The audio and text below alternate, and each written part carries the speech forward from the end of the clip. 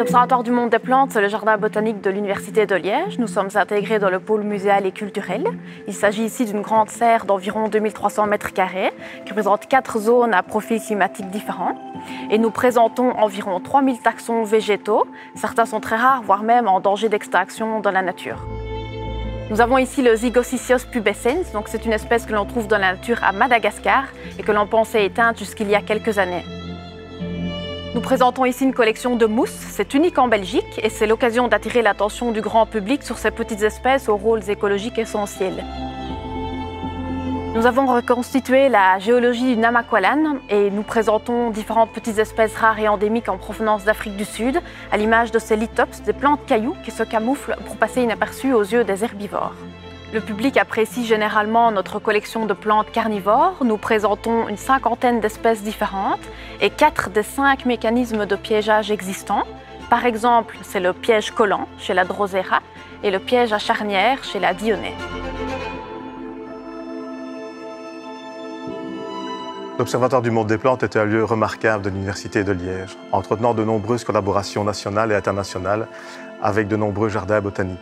Outre son rôle essentiel dans la conservation de la biodiversité, l'Observatoire du monde des plantes, c'est aussi la mise à disposition d'un outil essentiel pour la recherche et pour l'enseignement. L'Observatoire participe non seulement à l'étude de la taxonomie et de la systématique, mais il illustre aussi parfaitement de nombreuses adaptations complexes du monde végétal à différents milieux de vie et quelquefois extrêmes. Les domaines d'études sont vastes, par exemple l'écologie, les recherches en génétique et biologie moléculaire en laboratoire, pour rechercher d'éventuelles similitudes génétiques entre espèces ou individus, ou pour étudier leur évolution. Citons encore le biomimétisme ou encore l'identification de biomolécules actives à propriétés pharmacologiques intéressantes. En effet, donc disposer de, plantes euh, médicinales au sein de l'Observatoire du monde des plantes, plantes qui vont être réparties dans les quatre serres en fonction du climat, ça s'avère euh, un, atout vraiment euh, très utile pour la recherche en pharmacognosie et en phytothérapie. C'est aussi très utile pour les étudiants pharmaciens qui vont pouvoir disposer au sein de l'Observatoire du monde des plantes des plantes qu'ils ont étudiées au cours. Ils vont pouvoir les observer en vrai et cela va grandement faciliter leur apprentissage de la matière. L'Observatoire du monde des plantes possède une impressionnante collection d'espèces de cactus. Et certaines de ces espèces me sont particulièrement intéressantes car elles utilisent leurs épines pour collecter l'eau qui est présente dans l'air. Le but de ma recherche est de réaliser une approche biomimétique, c'est-à-dire d'imiter ce transport de liquide observé sur ces épines de cactus. Pour ce faire, j'utilise une imprimante 3D qui va créer une structure conique.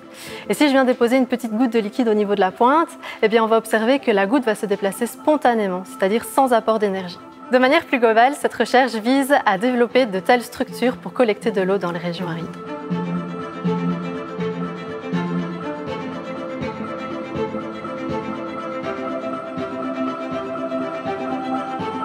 Nous tentons d'attirer l'attention du grand public sur des adaptations tout à fait étonnantes, voire même parfois surprenantes à des espèces végétales. Et aussi, nous voulons montrer l'importance de préserver la biodiversité et toutes ces espèces végétales, à l'image des deux jeunes arum titans que nous venons d'acquérir. Donc ce sont des plantes qui ont la particularité de posséder la plus grande fleur du monde. Cette fleur sent le cadavre pour attirer ses pollinisateurs et elles sont en voie d'extinction dans leur milieu naturel, d'où l'intérêt de les préserver dans notre collection.